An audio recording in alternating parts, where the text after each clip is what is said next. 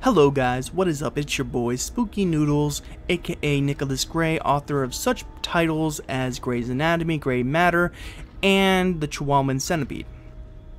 Today I am here to review Dead Inside by Chandler Morrison.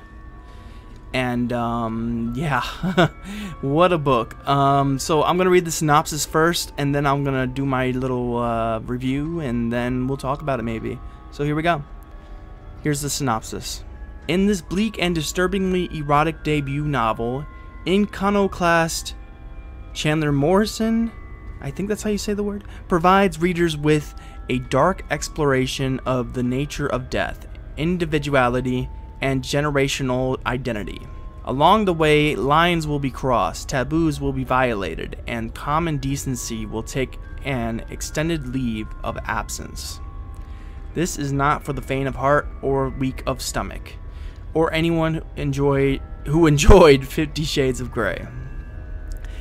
A young hospital security guard with a disturbingly unique taste in women, a maternity doctor with a horrifically unusual appetite, when the two of them meet, they embark on a journey of self discovery as they shatter societal norms while engaging in destructive and abhorrent, abhorrent blah, blah, blah, behavior as they unwittingly help each other sta- understand a world in which neither of them seems to belong to belong be to ugh, truly means to be to belong.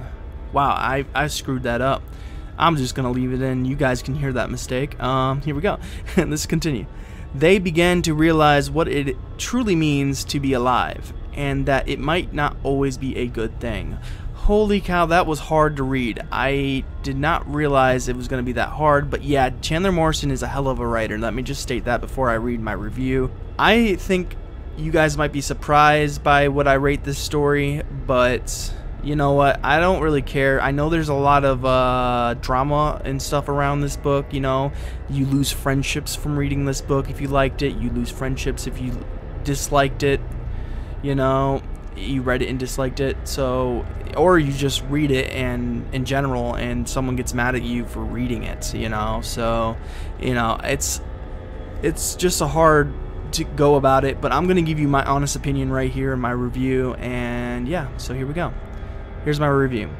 Gross appalling but somehow incredibly hard to put down. That's how i would describe my experience with dead inside. This was a gnarly tale about a misanthropic male that wants nothing to do with the living. It's a bizarre and stomach turning book that I sort of enjoyed reading. This really tested my limits, and I'm surprised I came out with a positive outlook on this book. The ending also is great and fitting. Overall, 4 stars. And yeah, I rated this one 4 stars. It was incredibly hard for me to do that because I wanted to give it more and I wanted to give it less, but I think four stars is where I'm gonna go with this one. I think it was really well written. Uh, it was disturbing, gross, all those things, you know.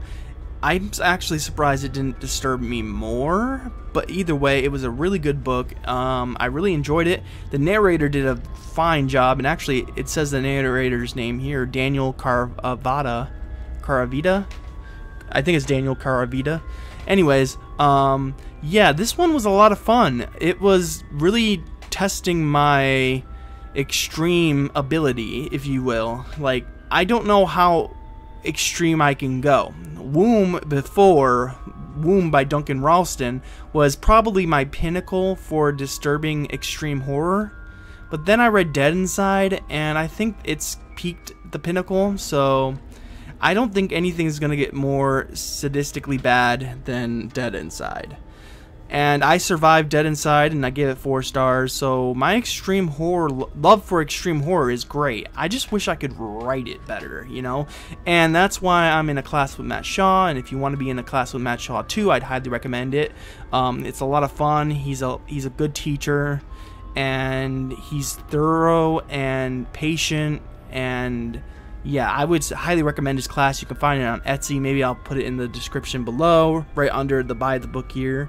And um, yeah, so yeah, I love extreme horror, and this is probably the pinnacle of extreme for me. I I don't think it can get any worse than this. Um, And if there is a book out there worse than this, then let me know in the description below or in the comments below.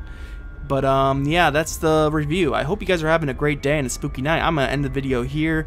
Uh, so check you later.